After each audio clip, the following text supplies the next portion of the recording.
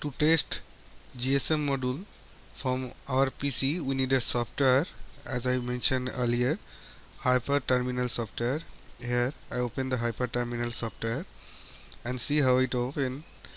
Just we have to give the name. Here I put a name A.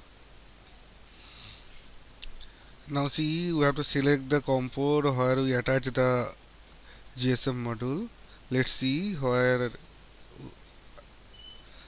we attach our GSM model go to device manager.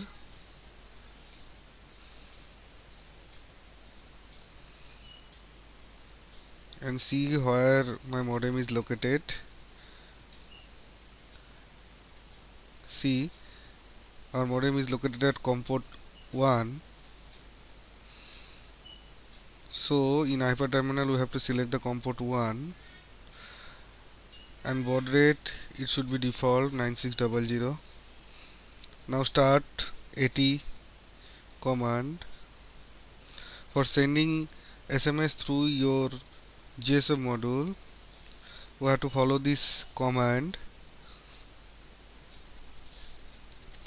AT plus CMGF is equal to 1 press enter. Then AT plus CS CS.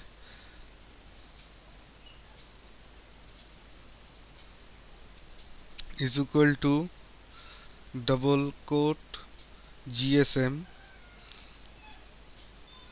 that means you attach GSM module.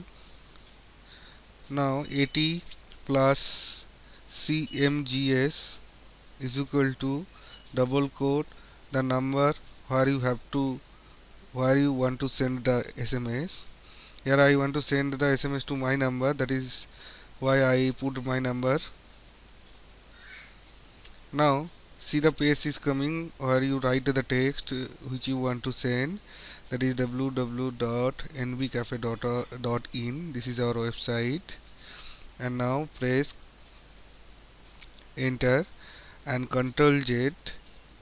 Then again enter and see your message is sent. Now see in your mobile. I just open my mobile SMS it it shows nbcafe.in that means what is we are sent in from hyper terminal software. Just this message is received in my mobile. Thank you